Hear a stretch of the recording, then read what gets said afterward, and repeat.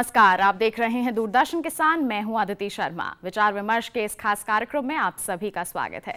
खरीफ के दौरान बरसात होती है, इसलिए इस दौरान काफ़ी कीट और खरपतवारों का खतरा भी नज़र आता है। और साथ ही साथ आपको बता दें कि तरह तरह की बीमारियाँ भी जो हैं हमारी फ़सलों को काफ़ी हद तक नुकसान पहुंचाती हैं। और अगर सही समय रहते, अगर हमने उस पर काबू नहीं पाया, यानी कि उनका नियंत्रण नहीं किया तो इससे काफ़ी हद तक किसानों को नुकसान उठाना पड़ता है। और आज के विचार विमर्श कार्यक्रम में हम इसी पर विस्तार से चर्चा करेंगे कि इस खरीफ के मौसम में हमारे किसान कौन कौन से समसामयिक कार्य कर सकते हैं, जिनसे उन्हें लाभ मिले ताकि जो खरपतवार है, कीट है, बीमारियाँ हैं, उनसे अपनी फ़सलों को सुरक्षित बना सके। बिल्कुल, आज के हमारे इस एक घंटे के कार्यक्रम के दौरान हम इसी पर चर्चा करेंगे और चर्चा करने के लिए हमारे साथ मौजूद हैं हमारे विशेषज्ञ।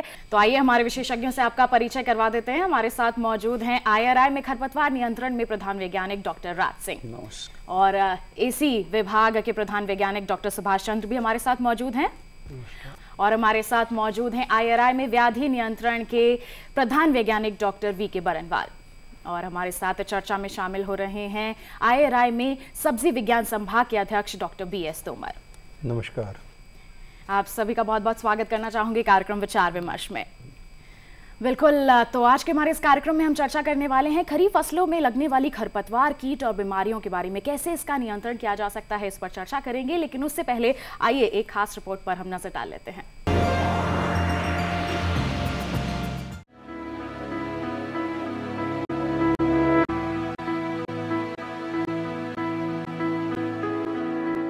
खरीफ मौसम में मुख्य रूप से अनाज, दलहन और तिलहनी फ़सलों की खेती होती है। इसके अलावा तरह तरह की सब्ज़ियाँ भी बोई जाती हैं। अनाज में मक्का, ज्वार, बाजरा और धान दलहनी फ़सलों में मूंग, उड़द, अरहर, लोबिया और सोयाबीन, जबकि तिलहन में मूंगफली, सूरजमुखी, कुसुम और तिल की फ़सलें इस समय खेतों में लगी हैं। रेशे वाली फ़सलों में कपास और जूट भी खरीफ की ही फ़सल है गन्ना वार्षिक फ़सल है बरसात के मौसम में इसकी तेज़ी से बढ़वार होती है अच्छी उपज के लिए खरपतवार कीट और बीमारियों से बचाव बहुत ज़रूरी है। कीट और बीमारियाँ जहाँ खड़ी फ़सल को चट कर जाते हैं, वहीं खरपतवार पौधों को दिए जा रहे पोषण में हिस्सेदार बन जाती है। इसकी वजह से फ़सल कमज़ोर रह जाती है। खरीफ की सबसे प्रमुख फ़सल धान है और इसमें अक्सर खरपतवार हो जाती है। इसीलिए समय समय पर निराई गुड़ाई का काम करते रहें। ज़्यादा प्रकोप हो तो ब्यूटाक्लोर, पेंडीमेथिलिन या इसी तरह की कोई और दवा छिड़क सकते हैं। धान को लगने वाली प्रमुख बीमारियाँ, झोंका रोग, बकानी, झुलसा या जीवाणुपर्ण अंगमारी है। इनके अलावा गुतान झुलसा रोग, जिसे शीत ब्लाइट भी कहा जाता है, धान में लग सकता है।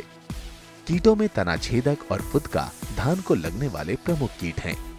ज्वार में बुआई के तीन हफ़्ते बाद निराई गुड़ाई कर लें। इससे खेत में हवा की आवाजाही बेहतर होगी। अच्छी उपज के लिए खेत में हवा का अच्छा संचार ज़रूरी है। ज्वार में आमतौर पर तना मक्खी का प्रकोप हो जाता है। दूसरी ओर, बाजरे में खरपतवार का ज़्यादा प्रकोप होने पर एट्राजिन का छिड़काव कर सकते हैं। मक्का में खरपतवार 50 फ़ीसदी तक नुकसान पहुँचा सकती है। इसीलिए बुआई के 45 दिन तक फ़सल को खरपतवार मुक्त रखें। मक्का में कभी कभी मेडिस टेर्सिकम लीफ ब्लाइट और डाउनी मिल्ड्यू जैसी बीमारियाँ हो जाती हैं। खासकर पछेती फ़सलों में इन बीमारियों की संभावना ज़्यादा रहती है।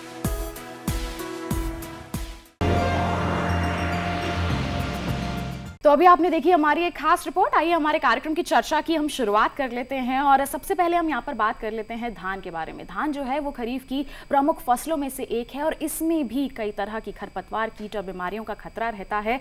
इस पर हम चर्चा कर लेते हैं, हमारे वैज्ञानिक का रुख कर लेते हैं। तो डॉक्टर साहब, आपसे जानना चाहूँगी, धान की अगर हम बात करते हैं तो कौन कौन सी खरपतवार हैं जो इसको परेशान करती हैं? जी हाँ जैसा आपने कहा है, धान हमारे देश की एक बहुत ही प्रमुख अनाज वाली फ़सल है। जैसा कि हमारे देश में लगभग 280 मिलियन टन अनाज उत्पन्न होता है। उसमें लगभग धान का उनतालीस प्रतिशत हिस्सा होता है। इसलिए धान बहुत प्रमुख फ़सल है, लेकिन इसकी औसत उपज वो लगभग 2700 किलोग्राम प्रति हेक्टेयर है। अगर हम इस औसत उपज को अन्य देशों की उपज के मुकाबले करें तो ये काफ़ी कम है। अनेक कारणों के अतिरिक्त जो खरपतवार उगते हैं फ़सल के साथ उनका एक प्रमुख रोल रहता है जो कि फ़सल के पौधों के साथ। खाद जो हम अपनी फ़सल को देते हैं पानी जो फ़सल को देते हैं उसका एक बहुत बड़ा हिस्सा ग्रहण कर लेते हैं। और जिसका परिणाम ये होता है कि इनके कंपटीशन के द्वारा फ़सल की पौधों की बढ़वार प्रभावित होती है और बढ़वार प्रभावित होने के कारण फ़सल की पैदावार अच्छी नहीं हो पाती। एक अनुमान के अनुसार धान की फ़सल में खरपतवारों के कारण 25 से 50 प्रतिशत तक उपज कम हो जाती कम हो जाती है। साथ ही साथ हम कह सकते हैं गुणवत्ता भी काफ़ी हद तक प्रभावित होती है। जी हाँ। जी। इससे जो धान में जो फ, हमारी फ़सल की गुणवत्ता है वो भी काफ़ी प्रभावित होती है। क्योंकि अनेक ऐसे खरपतवार हैं जो उपज के साथ साथ फ़सल की गुणवत्ता को भी प्रभावित करते हैं। ये जो फ़सल उत्पाद होता है जो धान का दाना होता है उसके साथ उनके बीज मिक्स हो जाते हैं जिसके कारण उत्पाद की गुणवत्ता प्रभावित होती है। जी बिल्कुल। कौन कौन से खरपतवार हैं जो परेशान करते हैं हमारी धान की बढ़वार को? धान की फ़सल में अनेक प्रकार के खरपतवार होते हैं जिनमें से प्रमुख रूप से चौड़ी पत्ती वाले नोकीली पत्ती वाले और एक तीसरा ग्रुप होता है जिसको हम सेजिज कहते हैं। सेजिज में मुख्य रूप से मोथा ये बहुत ही खतरनाक खरपतवार है क्योंकि इसको किसान भाई ऊपर से तो काट देते हैं लेकिन इसका जो प्रोपागेशन होता है वो इसकी जड़ में जो गांठें होती हैं उससे फिर पुनः दूसरा पौधा उगाता है। इसी प्रकार से अनेक प्रकार के चौड़ी पत्ती वाले न्यूक्ली पत्ती वाले जिसमें सैक- जिसमें डिजिटेरिया मार्जिनाटा पेनिकम रेपेंस अनेक प्रकार के नुकीली पत्ती वाले खरपतवार होते हैं जो फ़सल के उगने के साथ ही फ़सल के साथ उगते हैं और फ़सल के पौधों के साथ प्रतिस्पर्धा कर फ़सल की उत्पादन को प्रभावित करते हैं। बिल्कुल ये तो आपने चर्चा कर ली कि कितने प्रकार के होते हैं और किस प्रकार से गुणवत्ता को और साथ ही साथ पैदावार को प्रभावित करते हैं। नियंत्रण करना भी बेहद ज़रूरी हो जाता है। जैसे शुरुआती दौर में अगर हम कहें तो हम सलाह दे सकते हैं हमारे किसानों को कि वो निराई गुड़ाई कर लें तो उससे भी वो उस कमी आ सकती है उससे भी वो निजात पा सकते हैं। लेकिन अगर इनकी संख्या बढ़ गई है तो ऐसे में क्या कदम उठाए हमारे किसान? जैसा कि एक कहावत है कि precaution is better than cure. जी।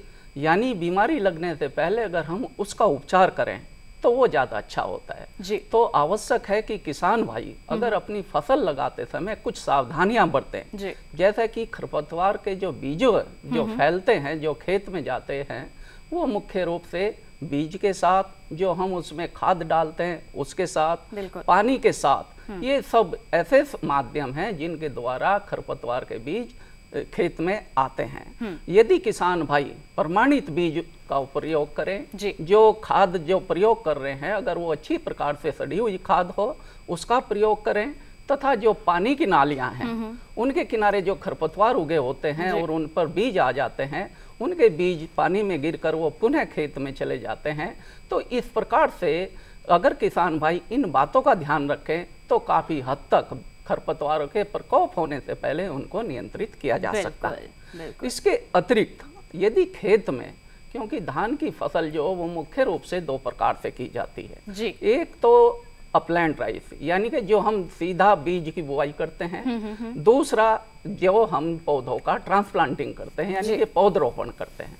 तो पौधरोपण के लिए जब किसान भाई नर्सरी तैयार करते हैं तो उसमें भी काफ़ी प्रकार के खरपतवार उगाते हैं। जी। उनको नियंत्रण करने के लिए आवश्यक है अगर किसान भाइयों के पास मजदूर नहीं है तो जैसे ही नर्सरी की बुआई करें तो बुआई के एक से दो दिन बाद तक काफ़ी खरपतवार नासी हैं जिनमें से पेंडेमिथिलीन प्रमुख है अगर उसकी किसान भाई जो बाज़ार में उपलब्ध मात्रा है वो तीन दशमलव तीन लीटर प्रति हेक्टेयर की दर से 400 लीटर पानी में घोल बनाकर छिड़काव कर दे तो नर्सरी में जो पौधों के साथ उगने वाले खरपतवार वो नष्ट हो वो काफ़ी हद तक तो पेंडा मेथिलिन का इस्तेमाल किया जा सकता है और उचित मात्रा में ही करना है जो हमारे विशेषज्ञ ने अभी बताई है। बिल्कुल खरपतवार की तो यहाँ पे आपने चर्चा कर ली कि किस प्रकार हमारी जो फ़सल है उसकी पैदावार को गुणवत्ता को प्रभावित करती है और कैसे हम इसे पहले ही नियंत्रित कर सकते हैं और अगर पहले ना कर पाए तो बाद में भी खरपतवार नाशी का इस्तेमाल करके इसको नियंत्रित किया जा सकता है। कीट भी लग जाते हैं इस मौसम में कई प्रकार के। कीट कौन कौन से होते हैं? धान की फ़सल में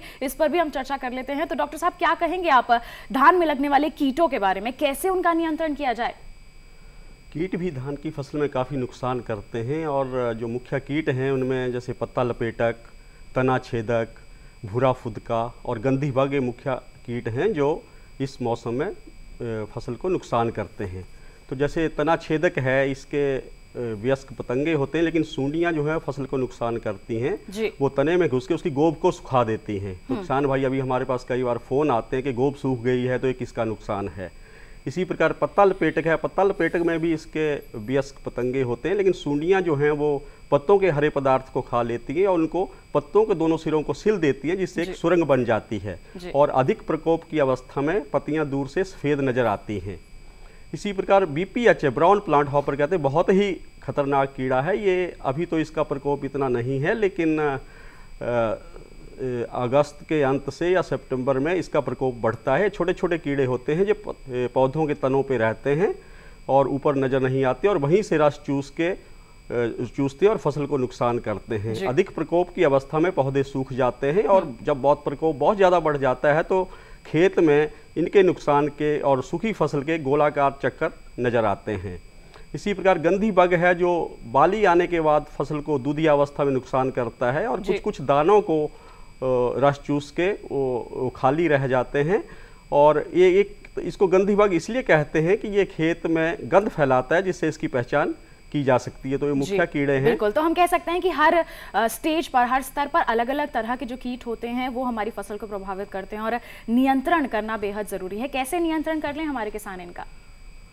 इनके नियंत्रण के लिए एक तो किसान भाइयों को कुछ आम जो सावधानियाँ बरतनी चाहिए जैसे कि है कि नत्रजन खाद का बहुत ज़्यादा प्रयोग ना करें क्योंकि किसान भाइयों की टेंडेंसी रहती है कि नत्रजन खाद का बहुत प्रयोग करते हैं और और अब तो फ़सल लग चुकी है लेकिन पोटैश और फास्फोरस का भी संतुलित प्रयोग करना चाहिए क्योंकि पोटैश के प्रयोग करने से कीड़े और बीमारियों का प्रकोप फ़सल पे कम होता है। दूसरे खेत धान के खेतों को लगातार पानी से भरकर नहीं रखना चाहिए। हम्म। क्योंकि उसमें भी आप उसको सिंचाई करें और उसके बाद सूखने दें तभी डालें क्योंकि अधिक नमी रहने से और पानी लगातार भरने से कीड़े और बीमारियों का प्रकोप बहुत बढ़ जाता बढ़ है। जाता है, किसान भाइयों को और एक भी ध्यान रखना है कि हमारी फ़सल में सिर्फ़ हानिकारक कीड़े नहीं होते बहुत से मित्र जीव भी होते हैं जिन- जिन्हें हम किसान के मित्र कहते हैं जैसे मकड़ियाँ हैं बहुत से भृंग हैं। तो किसान भाइयों को देखना चाहिए कि जब ये फ़सल में अगर छिड़काव वगैरह करते हैं तो जहाँ जहाँ अगर मकड़ी के जाले हों तो उन पे छिड़काव ना करें। जी। इसी प्रकार हमेशा फ़सल पे थो, थोड़ा बहुत कीड़े का नुकसान तो रहता ही है लेकिन हर एक कीड़े के लिए कुछ दहलीज स्तर हैं उसके ऊपर ही अगर नुकसान हो तभी कीटनाशियों का प्रयोग करना चाहिए। जैसे कि पत्ता लपेटे के लिए अगर दो औसतन दो पत्तियाँ प्रति पौधा मुड़ी हुई हों तभी उन पर छिड़काव की ज़रूरत होती है। और तना छेदक के लिए कम से कम 10 प्रतिशत अगर गोब सूखी हुई हो तभी उसमें कीटनाशी की ज़रूरत होती है। तो तो ये इस तरह से हमारे किसान जो हैं धान में लगने वाले कीटों का भी नियंत्रण कर सकते हैं। बिल्कुल अगर कीटों का नियंत्रण आप सही समय पर कर लेंगे तो आपकी फ़सल ज़्यादा प्रभावित होगी ही नहीं और इससे आपको ही काफ़ी फ़ायदा पहुंचेगा। बिल्कुल धान पर हमने चर्चा कर ली है इसको आगे भी जारी रख- रखेंगे लेकिन उससे पहले हम थोड़ी बहुत बातें सब्जियों पर भी कर लेते हैं। तो डॉक्टर तोमर यहाँ पर हमारे साथ मौजूद हैं। डॉक्टर तोमर आपसे जानना चाहेंगे खरीफ की सब्जियों की देखभाल हमारे जो किसान हैं वो किस प्रकार करें? खरपतवार भी काफ़ी लग जाती है। पहले तो आप इसी के बारे में बता दें खरपतवार नियंत्रण कैसे करें खरीफ में लगने वाली सब्जियों पर? देखिए अदिति हम अपने किसान भाइयों को आपके इस कार्यक्रम के माध्यम से बताना चाहेंगे कि सब्ज़ी फ़सलें अन्य दूसरी जो फ़सलें हैं जैसे धान्य फ़सलें हैं तिलहन हैं दलहन हैं उनकी अपेक्षा सब्ज़ी फ़सलें खरपतवारों से ज़्यादा प्रभावित होती हैं। जी। तो इस समस्या से बचने के लिए हम अपने किसान भाइयों को ये सिफारिश करते हैं कि भाई आप अपने खेत को अच्छी प्रकार से तैयार करें। जैसे वर्षा का मौसम है कई बार वर्षा समय से पहले आती है या देरी से आती है तो किसान को खेत की तैयारी करने का मौका नहीं मिल पाता है।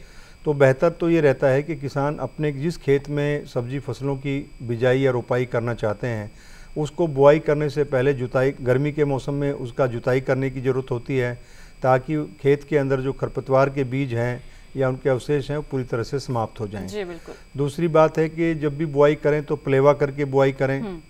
तीसरी बात है कि खेत के आसपास जो मेड़े हैं सिंचाई की नालियाँ हैं रास्ते हैं तो उनमें भी खरपतवारों को उगने नहीं देना चाहिए। जी। तो ये सामान्य सावधानियाँ रखने की आवश्यकता है सब्जियों के खेत की तैयारी करते समय। जी बिल्कुल। और दूसरी स्थिति आती है कि जब हम बुआई करते हैं तो बहुत सारी फ़सलें तो ऐसी हैं जिनकी सीधे बुआई करते हैं।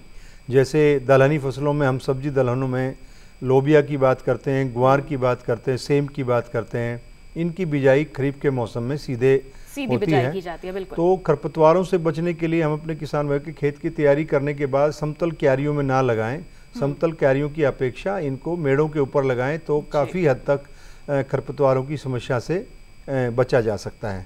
और जो फ़सलें पौध तैयार करने के बाद रोपाई की जाती हैं जैसे बैगन है मिर्ची है हम्म। या अगेता टमाटर है फूल गोभी है पत्ता गोभी है इनकी पौध तैयार करने की आवश्यकता होती है और हमारे किसान भाई इसकी पौध तैयार करते हैं तो पौध तैयार करते समय भी पौधशाला में पौधों खरपतवारों की समस्या आती है हम्म। तो उसको तो हम ये सिफारिश करते हैं कि भाई आप समय समय पर क्योंकि क्षेत्रफल कम होता है हम्म। तो उसमें समय निकाल करके पौधशाला को खरपतवार रहित रखें। जी। अब जो पौध तैयार हो जाती है तो उसकी रोपाई करने की आवश्यकता होती है।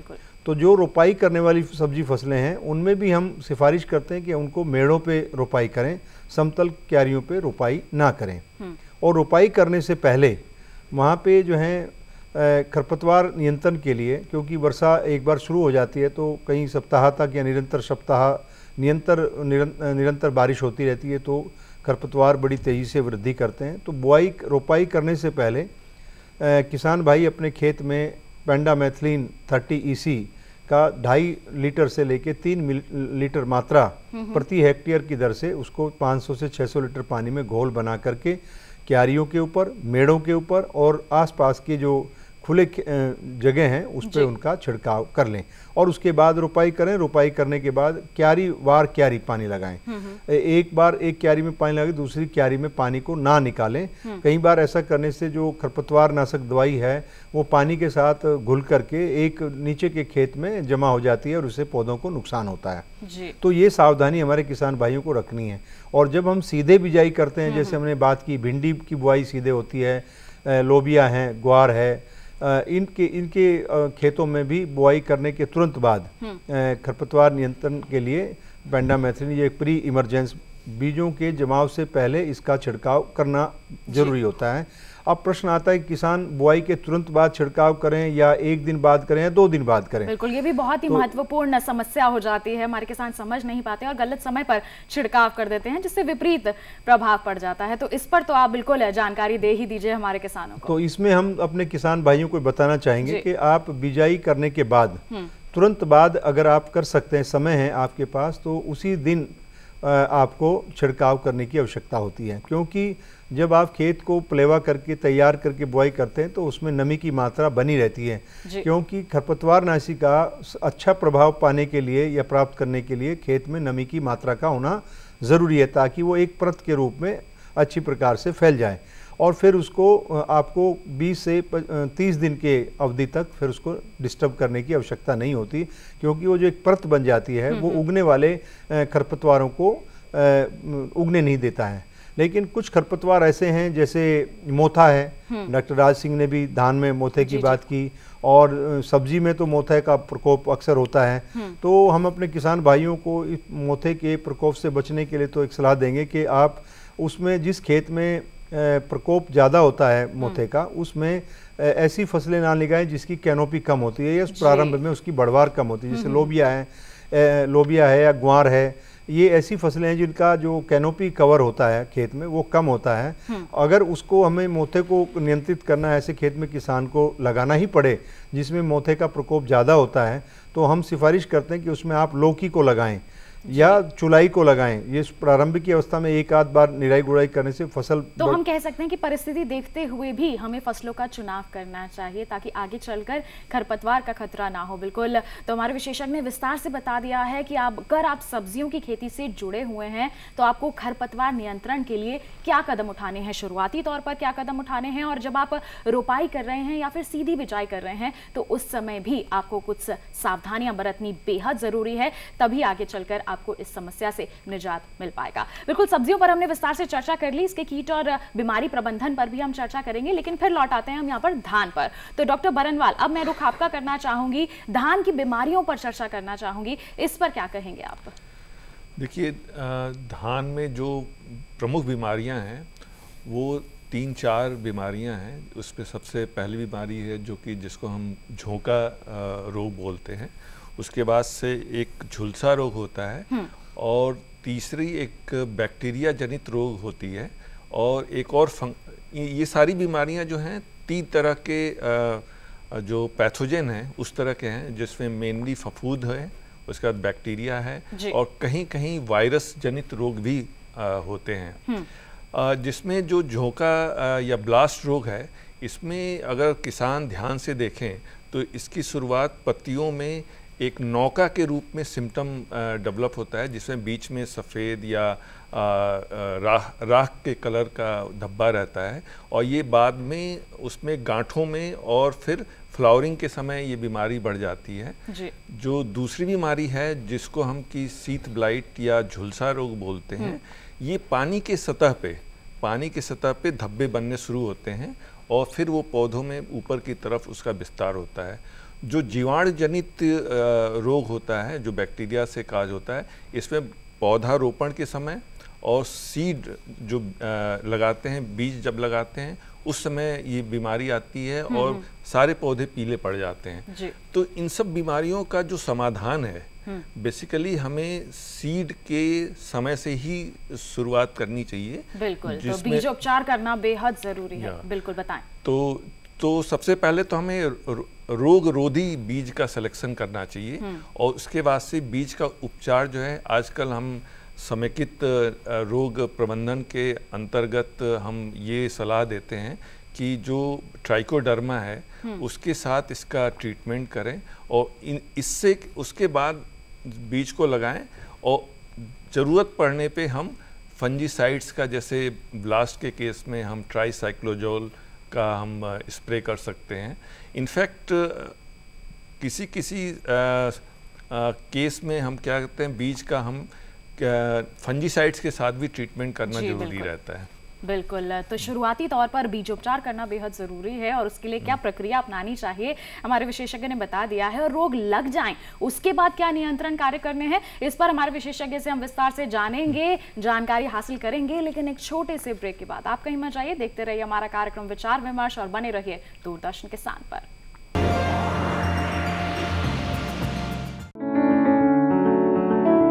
महका महका घर आँगन हरियाली से खिलेगा तन मन। छत पर छोटी सी बगिया, ज़रूरत भी पूरी, शौक भी पूरा। देखिए, छत पर बागवानी, शनिवार सुबह नौ बजे।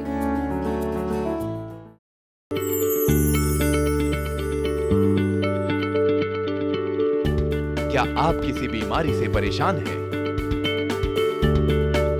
चाहते हैं डॉक्टर की सलाह। तो हम हैं आपके साथ। बताएँगे आपको जीने की राह। समस्याएँ आपकी, समाधान देश के मशहूर विशेषज्ञों के। घर बैठे बात करें देश के जाने माने डॉक्टरों से। हमारे लाइव प्रोग्राम स्वस्थ किसान में, हर शनिवार शाम 6 बजे से 7 बजे तक।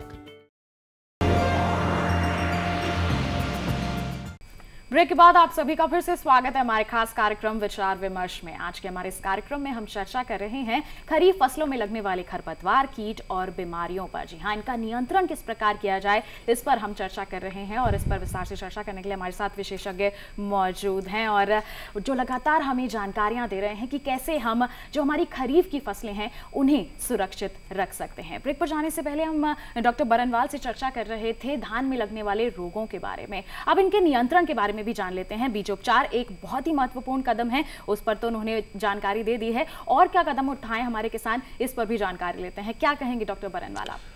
बीज उपचार करने के बाद से अगर पौधों में एक विशेष प्रकार का अगर सिम्टम दिखता है तब हमें केमिकल फंजीसाइड्स या रसायन का प्रयोग करना चाहिए।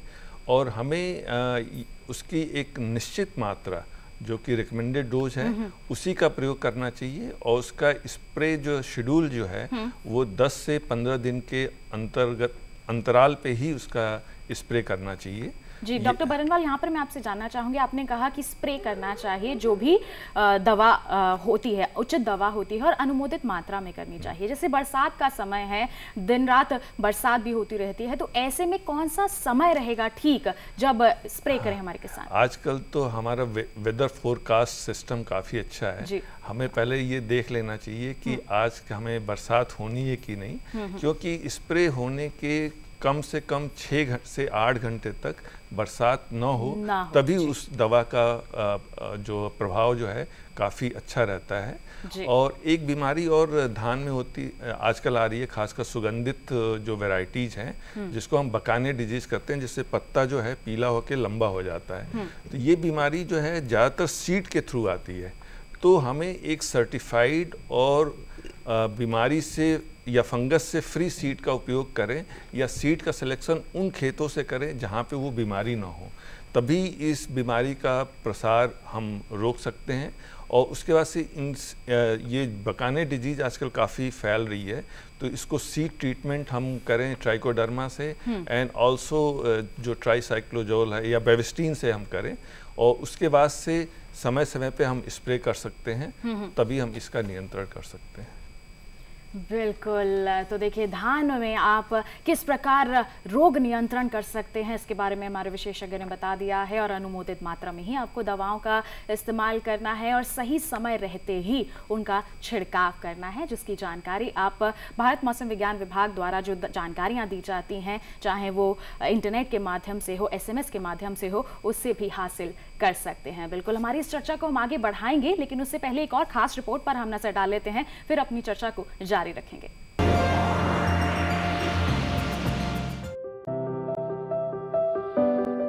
अरहर में इस समय उकठा रोग फाइटोफथोरा अंगमारी और पादप बांझा रोग हो सकता है। लक्षण दिखाई देने पर डाइकोफॉल और डाइमेथोइड दवा का छिड़काव करें। अगर आपकी फ़सल में उकठा का असर ज़्यादा दिखाई दे रहा है तो उस खेत में अगले तीन चार साल तक अरहर ना बोए। अरहर के साथ सह फ़सल के रूप में ज्वार बोने से उकठा का प्रकोप कम हो जाएगा। दलहनी फ़सलों में फली छेदक कीट की भी संभावना बनी रहती है। ऐसे में जब 70 फ़ीसदी फलियाँ बन जाएँ, तो मोनोक्रोटोफॉस का छिड़काव कर दें। मूंग और उड़द में बुआई के चार से पाँच हफ़्ते तक खरपतवार की समस्या ज़्यादा रहती है। इसीलिए लगातार निराई करते रहें। चौड़ी पत्ती और घास वाली खरपतवार को पेंडीमेथिलिन या एलाक्लोर या फिर फ्लूक्लोरोलिन से नष्ट करें। खरीफ तिलहनी में मूंगफली खासी अहम है। इसमें कॉलर रॉट का खतरा रहता है। इसकी रोकथाम के लिए फफूंद नाशी कार्बेंडाजिम या मेनकोजेब का छिड़काव करें। इसके अलावा टिक्का रोग से बचाव के लिए जिनेब का छिड़काव करें। सूरजमुखी में खरपतवार नियंत्रण के लिए पेंडीमेथिलिन 30 ईसी का इस्तेमाल करना बेहतर रहेगा। वहीं सोयाबीन में पीला मोजैक की रोकथाम के लिए मिथाइलोडेमेटॉन का छिड़काव कर सकते हैं। सोयाबीन के किसान चितकबरा पीला धब्बा के लिए कन्फिडोर, जबकि पत्ती धब्बा रोग के लिए बविस्टिन का छिड़काव करें। तिल में खरपतवार नष्ट करने के लिए बुआई के 15 से 20 दिन बाद पहली, जबकि 35 से 40 दिन बाद दूसरी निराई गुड़ाई करें। सब्जियों में गोभी, टमाटर, भिंडी, बैंगन, मिर्च और कद्दू वर्गीय सब्ज़ियाँ लगी हैं। उनमें भी कीट और खरपतवार वगैरह की निगरानी करते रहें।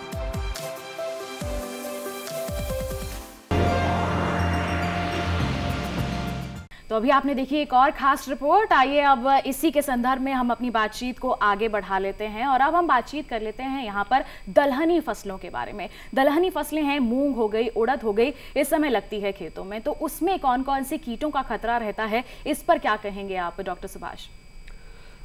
दलहनी फ़सलों में जैसे आजकल मूंग है या अरहर लगा हुआ है इसमें जो आजकल रस चूसने वाले कीड़े हैं जैसे सफ़ेद मक्खी उसका प्रकोप रहता है और उससे ये जीवाण जीवाणु भी फैलाता है जिसको हम वायरस और पत्तियाँ पीली हो जाती हैं। इसके अलावा कुछ जैसिड होते हैं जो जो भी रस चूसते हैं उससे पत्तियाँ पीली पड़ जाती हैं। और इसके अलावा जो अरहर में आने वाले समय में जो जो फली छेदक है वो बहुत नुकसान करता है। फली छेदक जो इसमें काफ़ी नुकसान करता है जैसे अरहर में करेगा तो उसके लिए किसान भाइयों को करना चाहिए कि फली छेदक के लिए किसान भाई फिरोमोन ट्रैप का प्रयोग कर सकते हैं। जी। फिरोमोन ट्रैप ये कीड़ा हेलिको वर्पा आर्मी जरा होता है और इसके लिए जो फिरोमोन ट्रैप आता है उसको हेलील्यूर के नाम से मिलता है। तो किसान भाई इसके लिए अगर दो फिरोमोन ट्रैप प्रति एकड़ लगाएँगे तो उससे उसकी निगरानी कर सकते हैं। उसमें जो नर पतंगे उसमें आके फंसते हैं तो पता लगता है कि फ़सल पे कीड़ा आना शुरू हो गया और अब इस पे अब इसकी सूढ़ियाँ आएँगी वो नुकसान करेंगी। लेकिन अगर आप 8 से 10 प्रति एकड़ लगा लेते हैं तो उस पर ज़्यादा से ज़्यादा नर पतंगे उसमें आके फंसते हैं और कीटनाशियों के की आवश्यकता कम रहती है। जी इसी प्रकार इसी प्रकार जो दूसरे कीड़े हैं जैसे सफ़ेद मक्खी है या जो जैसिड होता है उनके लिए किसान भाई किसी कीटनाशी का जैसे आपका इमिडाक्लोप्रिड है। इमिडाक्लोप्रिड का एक एमएल एक मिलीलीटर प्रति तीन लीटर के हिसाब से उसका छिड़काव कर सक- कर सकते हैं तो उससे सफ़ेद मक्खी का या दूसरे जो रस चूसने वाले कीड़े हैं उनका निदान हो जाता है। इसी प्रकार एक दूसरा कीड़ा आता है जिसको हम स्पोडोप्टरा कहते हैं वो काफ़ी जो है हरे पदार्थ को खा जाता है और बहुत से उसमें जो है पत्तियाँ बिल्कुल जाली की तरह बना देता है। उसका भी काफ़ी प्रभाव अगर कहीं कहीं दिखे तो ऐसे पौधों को निकाल देना चाहिए और ये इस कीड़े की खासियत है कि ये अंडे जो है वो गुच्छों में देता है और इसकी जो प्रथम जो सूंडियाँ होती हैं वो भी गुच्छों में होती हैं। तो ऐसे किसान भाई अगर खेत में घूम रहे हैं और तो ऐसे ऐसे पौधे जो दिखे तो उनको निकाल के मिट्टी में गाड़ दें तो उससे ये कीड़ा जो दूसरे पौधों पे फैलने से बच जाता है। जी, इसके नियंत्रण के लिए किसान भाई जैसे कुनिल फॉस दो मिलीलीटर प्रति लीटर के हिसाब से उसका छिड़काव कर सकते हैं। इसके अलावा अगर कीड़ों की संख्या कम हो शुरू में हो तो किसान भाई जैसे नीम सीड कर्नल एक्सट्रैक्ट है जिसको हम जैविक कहते हैं जी, बिल्कुल। जैविक तरीके जैविक तरीके से उसका जो पाँच प्रतिशत घोल जो बीजों के अर्क से बीजों नीम के बीजों के को उसको से हम निकालते हैं उसका पाँच प्रतिशत अगर कर दें तो शुरू में बहुत ही फ़ायदेमंद रहता है और उसका कोई दुष्प्रभाव भी नहीं पड़ता। तो इसलिए शुरू में किसान भाई अगर नीम सीट करने का कर लें तो काफ़ी फ़ायदेमंद रहेगा। जी, बिल्कुल। तो ये तमाम कीट हैं जो हमारी दलहनी फ़सलों को प्रभावित करते हैं और जैसे हमारे विशेषज्ञ ने कहा, शुरुआत में अगर आप जैविक तरीकों को अपना लेंगे तो उससे काफ़ी आपको फ़ायदा मिल सकता है। कीटनाशकों का जो रासायनिक कीटनाशक हैं, उन तक आपको पहुँचना ही नहीं पड़ेगा। इसी के संदर्भ में मैं बात करना चाहूँगी दलहनी सब्जियों के बारे में। तो डॉक्टर तोमर, क्या यही कीट होते हैं जो हमारी दलहनी सब्जियों को परेशान करते हैं या फिर और भी कोई कीट होते हैं? देखिए सामान्यतः तो डॉक्टर सुभाष जी ने जो कीट बताए जो हमारी मूंग है उड़द है अरहर है इसमें लगते हैं ये कीड़े लगभग हमारी सब्ज़ी फ़सलों में भी लगते हैं। जी।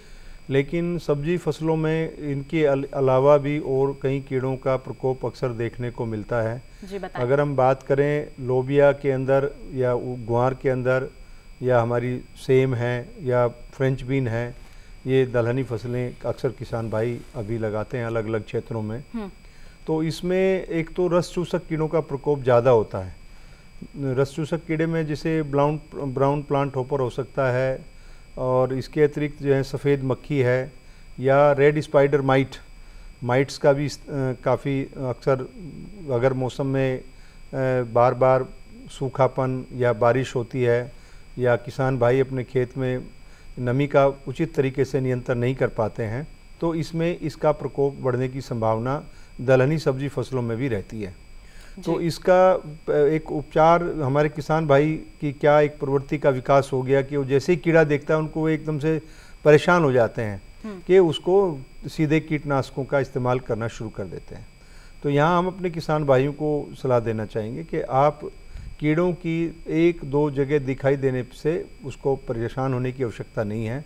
आप उन पत्तों को या पौधों को निकाल करके आप नष्ट कर दें। जी। और अपने खेत में निराई गुड़ाई करके खरपतवार नहीं रखें आसपास में सफ़ाई रखें। और प्रारंभ की अवस्था में कीटनाशक की बहुत अधिक मात्रा का इस्तेमाल ना करें हल्की मात्रा का इस्तेमाल करें। जैसे कि डॉक्टर साहब अभी बताए कि भाई सफ़ेद मक्खी या और दूसरे कीड़ों को रस चूसक कीड़ों को नियंत्रण करने के एक थ्री तीन एम एक एम एल दवाई तीन लीटर पानी में घोल करके छिड़काव करें। मैं सब्जियों के केस में कहना चाहूँगा कि एक मिलीलीटर दवाई को आप चार लीटर पानी में घोल करके लें। अगर कॉन्फिडोर का आप इस्तेमाल करते हैं तो अट्ठारह दशमलव सात एसएल का जो है उसको जो है इस्तेमाल में ला सकते हैं। लेकिन मुख्य बात यह है कि आपको सफ़ाई के ऊपर उचित पोषण के ऊपर ध्यान देने की आवश्यकता है। जी बिल्कुल। इन सब पर ध्यान देंगे तो कीट काफ़ी हद तक नियंत्रण हो सकते हैं बिल्कुल। दलहनी फ़सलों की अगर हम बात कर रहे हैं तो उसमें खरपतवार भी कई तरह के रहते हैं। तो डॉक्टर राज सिंह इस पर आप क्या कहेंगे क्या प्रतिक्रिया रहेगी? खरपतवार कौन कौन से कैसे उनका नियंत्रण करें? जी हाँ। खरीफ ऋतु में जैसा कि पहले बताया गया अनेक प्रकार की दलहन फ़सलें उगाई जाती हैं जिनमें प्रमुख रूप से अरहर मूंग उड़द ये प्रमुख दलहनी फ़सलें हैं और इन फ़सलों में विभिन्न प्रकार के खरपतवार फ़सलों को नुकसान पहुंचाते हैं। जी। तो दलहनी फ़सलों के खरपतवार नियंत्रण के लिए सबसे पहले आवश्यक है कि खेत की तैयारी बहुत अच्छी तरीके से करें। बिल्कुल। उसके बाद क्योंकि खरपतवार ऐसे होते हैं इनके जो बीज हैं वो हवा और पानी के साथ अगर आपने खेत में एक बार खरपतवार साफ़ कर दिए तो वो पुनः दोबारा उग आते हैं क्योंकि इनके बीज एक खेत से दूसरे खेत में हवा और पानी के साथ आ जाते हैं। और जैसे ही उनको उचित कंडीशन मिलती है तो वो उगाते हैं।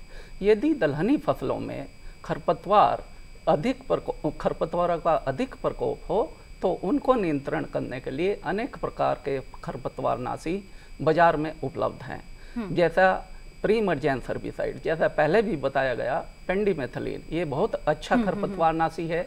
इसकी लगभग तीन लीटर मात्रा अगर बुआई के एक से दो दिन तक सभी दलहन फ़सलों में चाहे वो अरहर हो मूंग हो उड़द हो इनमें अप्लाई करें तो ये खर फ़सल के साथ उगने वाले खरपतवारों को काफ़ी हद तक ख़त्म करता है। इसके बाद जो खरपतवार आते हैं क्योंकि खरपतवार ऐसे हैं कि वो आते ही रहेंगे फ़सल के साथ तो जब फ़सल 20 से 25 दिन की हो जाए तो अनेक पोस्ट इमरजेंस हर्बिसाइड्स हैं यानी कि जो खरपतवार उगने से बाद में उनका नियंत्रण करते हैं। जिनमें प्रमुख रूप से है क्यूजालोफॉप ये बहुत अच्छा खरपतवार नाशी है। इसकी सभी दलहन फ़सलों में अगर हम जो बाज़ार में उपलब्ध मात्रा है उसकी 250 सौ प्रति हेक्टेयर लगभग 400 लीटर पानी में घोल बनाकर छिड़के। तो इस खरपतवार नाशी को जैसे तोमर साहब अभी बता रहे थे तो सब्ज़ी वाली फ़सलों प्रमुख रूप से भिंडी लोबिया गंवार इनके खरपतवारों को भी नष्ट करने के लिए उपयोग किया जा सकता है। जी। अगर ये खरपतवार नाशी नहीं उपलब्ध हो तो एक दूसरा खरपतवार नाशी है जिसका नाम है इमेजा थाइपर ये बहुत अच्छा खरपतवार नाशी है। इसकी मात्रा लगभग 700 मिलीलीटर प्रति हेक्टेयर की दर से लगभग जब फ़सल 25 से 30 दिन की हो जाए तो किसान भाई अगर इसका प्रयोग करें तो फ़सल के साथ जो बाद में खरपतवार उगते हैं उनको अच्छी प्रकार से नियंत्रित किया जा सकता है। जी बिल्कुल। तो, तो- दलहनी फ़सलों में किस प्रकार खरपतवार नियंत्रण करना है? चाहे वो दलहनी सब्ज़ी फ़सलें हों या फिर अरहर मूंग और उड़द की ही हम बात क्यों ना कर रहे हों इनमें खरपतवारों को नष्ट करना सही समय पर बेहद ज़रूरी है अन्यथा प्रभावित हो सकती है इनकी पैदावार और उसके साथ साथ इनकी गुणवत्ता भी। दलहनी फ़सलों में बीमारियाँ भी कई तरह की लगती हैं। डॉक्टर बरनवाल इस पर आप क्या कहना चाहेंगे? मूंग बीन और उर्द बीन में विषाणु रोग का प्रकोप बहुत ज़्यादा होता है जिसमें जिसमें पत्तियाँ पीली हो जाती हैं उनकी जो शिराएँ हैं हैं वो इस तरह का मोजाइक येलो मोजाइक सिम्टम हो जाता है। और ये जो विष- विषाणु रोग है सफ़ेद मक्खी जैसा कि हमारे सहयोगी डॉक्टर सुभाष और डॉक्टर तोमर ने बताया कि सफ़ेद मक्खी के द्वारा इस विषाणुओं का संच विषाणु सफ़ेद मक्खी संवाहक होती है एक पौधे से दूसरे पौधे में ये बीमारी ले जाती है।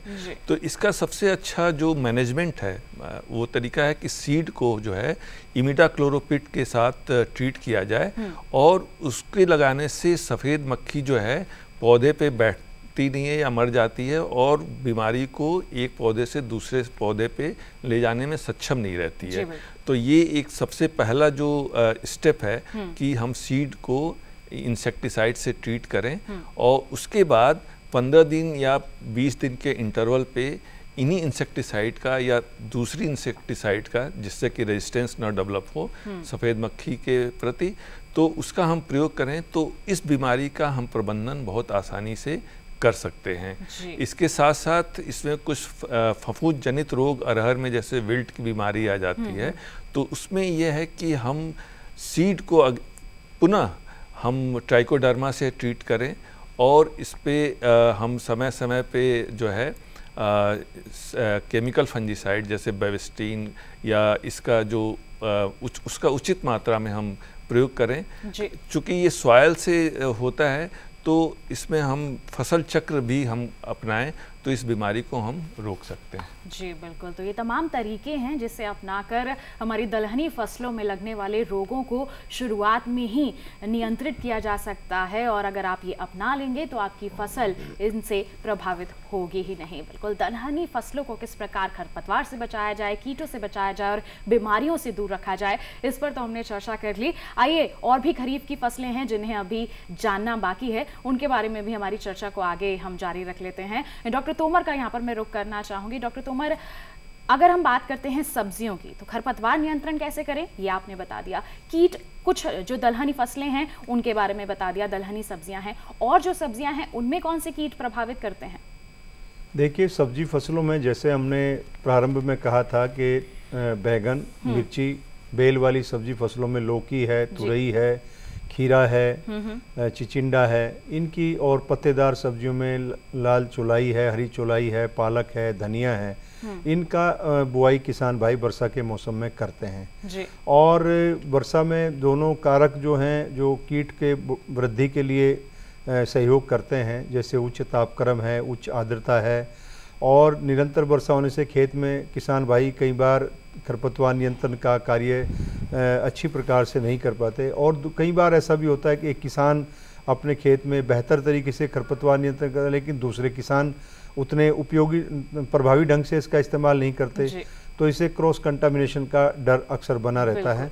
अगर हम बात करते हैं बैगन की हम्म। बैगन में जो अभी नई रोपी गई फ़सल है वो हम्म। अभी तकरीबन 30 से 35 सेंटीमीटर की अवस्था की होगी और इसमें शीर्ष बेदक सूट बोरर के लगने की पूरी संभावना रहती है।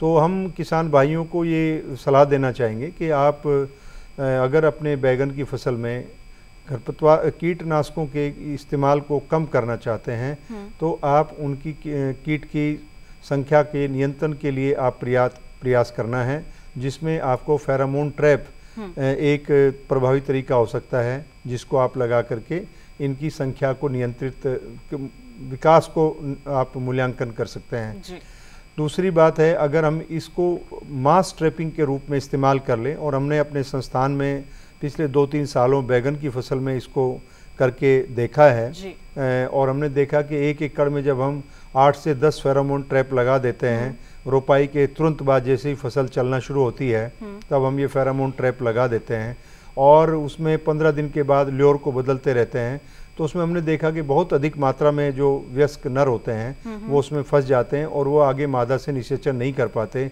जिसके कारण फ़सल में प्रकोप होने से इसका बच जाता है हम्म। और इसको हमने ये भी देखा है कि अगर हमारे किसान भाई फेरामोन ट्रैप का इस्तेमाल प्रभावी तरीके से करते हैं एक तो आठ से दस प्रति एकड़ की दर से लगाएँ और पंद्रह दिन के बाद ल्योर को बदल दें अगर उसके साथ जो जाल लगा हुआ है जिसमें फंसते हैं हम्म, हम्म। उसको किसी प्रकार के नुकसान को ना होने दें क्योंकि कई बार जंगली जानवर जैसे कुत्ते हैं जी जी। जंगली और दूसरे जानवर हैं उसको हम्म, नुकसान पहुँचा देते हैं। तो उनको सही तरीके से इस्तेमाल रखना प्रबंध करना ज़रूरी हो जाता है। तो हमने देखा कि दो कम से कम दो छिड़काव हम कम कर सकते हैं। और हमने यही प्रक्रिया पौधशाला में भी अपनाई और हमने दो सालों में देखा है कि हमारी बैगन की जो हम पौध तैयार करते हैं अपने अनुसंधान कार्य के लिए बीज उत्पादन के लिए उसमें बहुत कम प्रकोप हुआ सूट बोरर का। हम्म। तो ये हमारी एक तो बहुत ही ऐसी प्रक्रिया है जिसमें हम वातावरण को भी स्वच्छ रखने में स्वस्थ रखने में मदद करते हैं और कीट कीट का नियंत्रण भी होता है और कीटनाशकों का कम से कम, कम इस्तेमाल होता है। आज हमारी जो सरकार के सामने चुनौती है हमारे हम्म, किसानों हम्म, के सामने चुनौती है कि किसान की आमदनी हम कैसे दुगना करें। तो दुगना करने में जब हमारे सब्ज़ी उत्पादक किसान हैं वो कीटनाशकों का अधिक इस्तेमाल करेंगे तो निश्चित रूप से उनकी लागत में वृद्धि होगी। परिश्रम करना पड़ेगा और वातावरण भी प्रभावित होगा। तो हम उसको परोक्ष अप्रोक्ष रूप से अगर हम देखें हम्म, तो हम्म। ये जो फेरामोन ट्रैप है ये एक बहुत हम्म, प्रभावी तरीका है जिसको हमारे किसान भाई अपना सकते हैं। दूसरी बात मैं अपने किसान भाई को बैगन के बारे में कहना चाहूँगा कि अगर खेत में एक एकड़ में दो चार जगह पाँच जगह आपको शूट बोरर के लक्षण दिखाई भी देते हम्म, हैं हम्म। तो हम आपको सलाह करेंगे कि आप उसको एक इंच नीचे से काट दें। और काट करके उसको खेत में ना डालें। अक्सर हम देखते हैं किसान भाई आधी अधूरी प्रक्रिया अपनाते हैं कि काट तो दिया काट करके वो खेत में, में डाल दिया। तो उसके अंदर जो व्यस्क नर ने हम्म, अंडे हम्म, दिए हम्म। हुए हैं सुंडी है वो व्यस्क होकर के फिर पुनः नुकसान का काम करना शुरू कर देती है। बिल्कुल। तो उसको काटना है। जी बिल्कुल। उसको काट करके कहीं बाहर रख देंगे उसको दबाना है। जी। उसको मिट्टी के अंदर गाड़ देना है हाँ, हाँ। ताकि वो उसके जो कैटरपिलर हैं सुंडी हैं वो व्यस्क में बन के फिर दोबारा निषेचन या नुकसान के काम से फ़सल को प्रभावित ना न करे। करें। बिल्कुल। तो बैंगन की फ़सल में कैसे कीट प्रबंधन करना है जिससे आपकी लागत भी कम हो सके इसके बारे में विशेषज्ञ ने बता दिया है। इस विषय पर चर्चा हम जारी रखेंगे लेकिन एक छोटे से ब्रेक के बाद। आप कहीं मजाइए देखते रहिए हमारा कार्यक्रम विचार विमर्श और बने रहिए दूरदर्शन के किसान पर।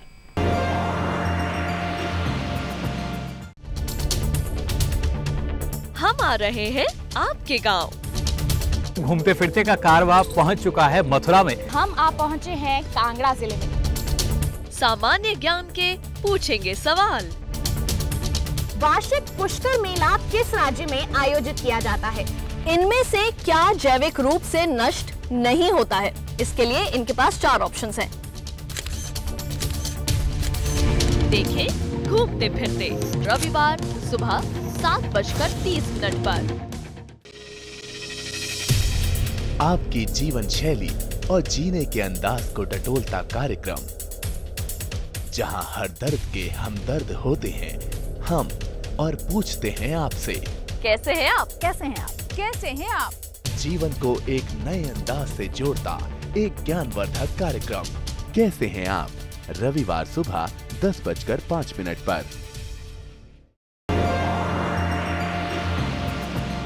ब्रेक के बाद आप सभी का फिर से स्वागत है हमारे कार्यक्रम विचार विमर्श में। आज के हमारे इस कार्यक्रम में हम चर्चा कर रहे हैं खरीफ फ़सलों में खरपतवार कीट और रोग नियंत्रण पर। और ब्रेक पर जाने से पहले हम सब्ज़ी फ़सलों में लगने वाले कीटों पर विस्तार से चर्चा कर रहे थे जानकारी हासिल कर रहे थे हमारे विशेषज्ञ से। आइए उन्हीं का रुख कर लेते हैं डॉक्टर तोमर। बैंगन के बारे में तो बता दिया अन्य सब्जियों पर क्या कहेंगे आप? दूसरा जो अभी बारिश के मौसम में प्रमुख सब्ज़ियाँ लगती हैं वो बेल वाली सब्ज़ियाँ हैं। जी। जैसे लौकी है तुरई है करेला है खीरा है चिचिंडा है सीताफल है ये हमारी प्रमुख बेल वाली सब्ज़ी फ़सलें हैं। जब किसान भाई इनकी बुआई करते हैं फ़सल प्रारंभिक की अवस्था में होती है तकरीबन एक महीने जब बेल का निर्माण नहीं होता है उस अवस्था तक उसमें एक कीड़ा का प्रकोप होता है जिसको हम रेड पंपकिन बिटल बोलते हैं। और ये रेड पंपकिन बिटल जो हैं जो कोमल पत्ते होते हैं उनको खा करके नुकसान पहुंचाते हैं। कई बार उनके शीर्ष भाग को भी खा जाते हैं, इससे पौधों की संख्या कम हो होने की संभावना रहती है। तो इस कीड़े के प्रति किसान भाइयों को सजग रहने की आवश्यकता है। उसमें आमतौर पर हमारे किसान भाई एक अपनी जो प्रक्रिया है, जैसे राख की डस्टिंग करते हैं। राख की डस्टिंग से ये कीड़े का प्रकोप तो कम होता है व्यावहारिक है लेकिन कई बार अधिक मात्रा में इस्तेमाल होने से प्रकाश संश्लेषण की क्रिया जो है भोजन बनाने की जो बाधित होती है तो पौधे का विकास रुकता है।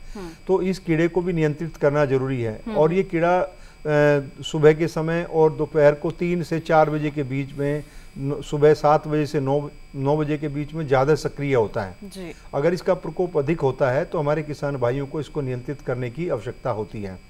और अगर ये बहुत सीमित मात्रा में है तो इससे प्रभावित होने डरने की आवश्यकता नहीं होती। है फिर धीरे धीरे जैसे ही फ़सल बड़ी हो जाती है और उसमें पत्तों का बेल में बेलें बननी शुरू हो जाती हैं तब इसके प्रकोप को हम काफ़ी कम हो जाता है स्वतः ही कर, हो जाता है। और एक कीड़ा मैं और कहना चाहूँगा जो इन फ़सलों को नुकसान करता है वर्षा के मौसम में वो है पोलन ईटिंग बिटल। ये बड़ा भ्रंग होता है लाल काले रंग का।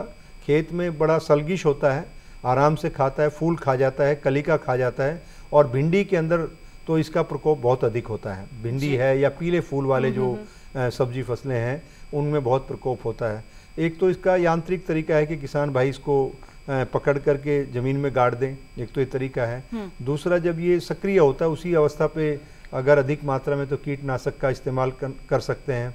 पहले हम लोग इसकी सिफारिश करते सेविन इसमें काफ़ी प्रभावी होता था लेकिन अब सेविन की कार्बोनेट की उपलब्धता कम होने के कारण या सरकार द्वारा इस पर नियंत्रण रखा गया है कि इसका दूरगामी प्रभाव फ़सलों के ऊपर ना पड़े। तो लेमडा साइलोथ्रिल एक कीटनाशक है उसका छिड़काव हमारे किसान भाई इसमें कर सकते कर हैं, सकते हैं। जी। और इसको नियंत्रित कर सकते हैं। जी बिल्कुल। तो तो ये कुछ कीड़े हैं कुछ जो कीड़े हैं जो, जो सब्ज़ी फ़सलों को प्रभावित करते हैं और उनका नियंत्रण किस प्रकार किया जाए इस पर विस्तार से चर्चा भी हो गई है। आइए बढ़ते हैं आगे और अब अंत में मैं तिलहनी सब्जियों का रुख कर, कर लेती हूँ। माफ़ कीजिएगा तिलहनी फ़सलों का रुख कर लेती हूँ यहाँ पर।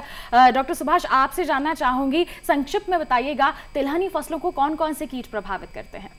और कैसे उनको रोका जाए? अगर आप जैविक तरीकों को बताएँगे तो वो ज़्यादा फ़ायदेमंद रहेगा हमारे किसानों के लिए।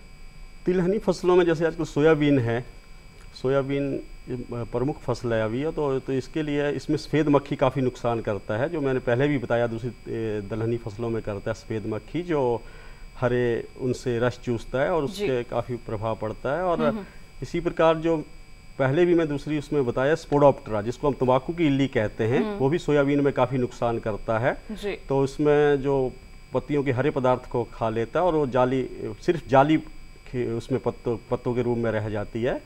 तो इन पहले भी इसमें बताया कि सफ़ेद मक्खी के लिए एक तो आप नीम ऑयल का भी प्रयोग कर सकते हैं जो दूसरी फ़सलों में भी कर सकते हैं। नीम ऑयल पाँच मिलीलीटर प्रति लीटर पानी के रेट से उसका छिड़काव कर सकते हैं। सो सफ़ेद मक्खी को नियंत्रित करता है। जी। खेत में आप पीले चिपकाऊ ट्रैप भी लगा सकते हैं सफ़ेद मक्खी के लिए जो सिर्फ़ सोयाबीन में नहीं सब्जियों में भी या दूसरे जो आपके दलहनी फ़सलें उसमें भी आप पीला ट्रैप तो ये पीले रंग की तरफ़ आकर्षित होती है तो उसमें फंसती है तो एक तो पता लगता है कि उसमें सफ़ेद मक्खी आना शुरू हुआ है दूसरा उसकी संख्या को भी कम करती हैं। और उसके तंबाकू की इली के लिए जो भी ग्रसित पौधे हों तो उनकी चूँकि वो झुंड में होती हैं इलियाँ हम्म, हम्म, हम्म। और उनके अंडे झुंड में होते हैं तो उन, उन पौधों को निकाल के मिट्टी में गाड़ दें ताकि वो दूसरे ना फैले। बिल्कुल तो ये तिलहनी फ़सलों के कुछ कीट हैं जो हमारी फ़सल को थोड़ा बहुत नुकसान जो है वो ज़रूर पहुँचा सकते हैं। खरपतवार भी तिलहनी फ़सलों को प्रभावित करती है। डॉक्टर राज सिंह इस पर क्या कहेंगे आप? देखिए खरीफ ऋतु में प्रमुख रूप से सोयाबीन मूंगफली और तिल हम्म। ये तिलहनी फ़सलें हैं जो उगाई जाती हैं। जी बिल्कुल। इन फ़सलों में भी खरपतवारों का बहुत प्रकोप होता है और फ़सल को काफ़ी नुकसान होता है। खरपतवारों द्वारा फ़सल में होने वाले नुकसान को बचाने के लिए खरपतवारों को नियंत्रण करने के लिए आवश्यक है कि किसान भाई जब भी फ़सलें बोएँ तो उससे एक या दो दिन बाद तक प्री इमरजेंस जो हर्बिसाइड हैं जो खरपतवार नाशी हैं उनकी अप्लाई करें। उनमें से प्रमुख रूप से पेंडिमिथलिन है जो तीनों फ़सलों में अप्लाई किया जा सकता है। इसके अलावा जब फ़सल 25-30 दिन की हो जाए यदि हम्म, हम्म, किसान हम्म। भाइयों के पास मजदूरों की व्यवस्था नहीं है अगर वो गुड़ाई नहीं करा सकते तो उसमें पोस्ट इमरजेंस हर्बिसाइड जिसमें इमेजिथाइपर या क्यूजालोफॉप ये प्रमुख खरपतवार नाशी हैं।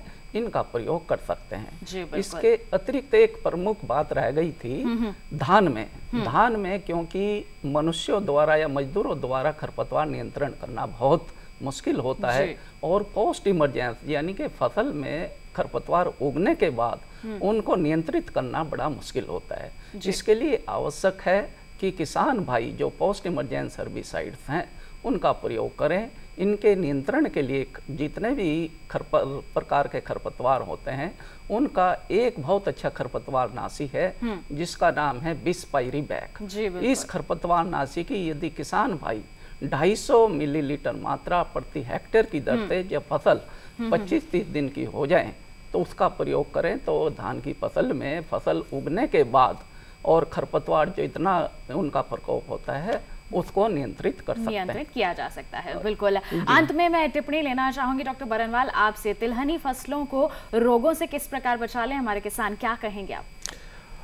तिलहनी फ़सलों में जैसा कि हमारे कोलीग डॉक्टर सुभाष ने बताया कि सफ़ेद मक्खी एक प्रॉब्लम है और उसके अलावा तो ये एक बीमारी प्रसारित करती है जो कि सोयाबीन मोजाइक वायरस कहते हैं हम्म। और इससे इस फ़सल को काफ़ी नहीं इसके अलावा अभी अनुसंधान से पता चला है कि सोयाबीन में पाँच छः तरह के वायरल डिज़ीज़ आते हैं जी। तो इनकी पहचान करना और इनके प्रति हमें रोग रोधी किस्में डेवलप करना एक प्रमुख प्रमुखता से लिया जा रहा है और ज़्यादातर तिलहनों में जो और बीमारियाँ हैं वो फफूद की हैं लेकिन उससे पहले मैं सब्जियों में थोड़ा सा डिस्कस करना चाहता हूँ रोगों का हम्म। क्योंकि इस समय आर्द्रता बहुत है हम्म। बरसात हो रही है और फफूद जनित रोग का काफ़ी प्रकोप सब्जियों की फ़सलों में होता है जिसमें खासकर डैम्पिंग ऑफ़ है हम्म। जिसमें पौधे गिर जाते हैं तो इसका सबसे अच्छा जो निदान समाधान है कि हम पौधों की संख्या जब बीजा उसमें पौध लगाएँ तो उनकी संख्या एक उनकी डेंसिटी कम रखें पानी का निकास अच्छा रखें और सीड का प्रॉपर ट्रीटमेंट आइदर फंजीसाइड से या ट्राइकोडर्मा से अगर हम केमिकल फंजीसाइड नहीं हटाना चाहते। तो ये जो तरीके हैं तिलहन की फ़सलों में भी उतने ही कार्य उपयोगी हैं कि हम सीड को जो है ट्राइकोडर्मा से ट्रीट करें कर उपचार करें हम्म, हम्म, हम्म। ताकि उसमें फफूद जनित रोग ना आ पाए। जी बिल्कुल। चाहे बात हम सब्ज़ी फ़सलों की करें चाहे तिलहनी फ़सलों की करें उसमें रोग नियंत्रण का जो तरीका है और काफ़ी हद तक मिलता जुलता है और उसके लिए अगर आप बीज उपचार पहले ही कर लेंगे तो आगे चलकर जो रोग है वो प्रभावित ही नहीं करेंगे। जो वायरस हैं जो बैक्टीरिया हैं वो पनपेंगे ही नहीं आपकी फ़सलों में और काफ़ी हद तक इस समस्या से आपको निजात मिल पाए पाएगा बिल्कुल तो बहुत ही महत्वपूर्ण जानकारियाँ जो हैं आज के हमारे इस कार्यक्रम में आज की हमारी इस चर्चा से निकल कर आई हैं और उसके लिए मैं धन्यवाद देना चाहूँगी हमारे विशेषज्ञों का। बिल्कुल बहुत बहुत धन्यवाद आप सभी विशेषज्ञों का आपने बहुत ही महत्वपूर्ण जानकारियाँ साझा की। बहुत बहुत धन्यवाद। धन्यवाद। थैंक यू तो बिल्कुल तो आज तो हमने चर्चा कर ली कि किस प्रकार हम खरीफ फ़सलों में खरपतवार, कीट और रोग का नियंत्रण कर सकते हैं। हम उम्मीद करते हैं कि जो भी हमने जानकारियाँ आप तक पहुंचाई हैं, उनसे आप ज़रूर लाभान्वित होंगे। तो आज के कार्यक्रम में बस इतना ही। अगले सप्ताह मुलाकात होगी आपसे। एक नए विषय पर करेंगे हम विचार विमर्श। तब तक के लिए हमें दीजिए इजाज़त। आप बने रहिए दूरदर्शन किसान पर। नमस्कार।